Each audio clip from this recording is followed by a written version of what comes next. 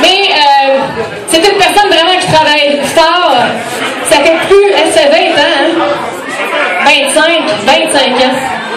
Même avant Via Country, que ça fait 15 ans qui dure et qui euh, perdure dans toute l'industrie, qui amène aux artistes d'aujourd'hui du Québec, de l'Acadie,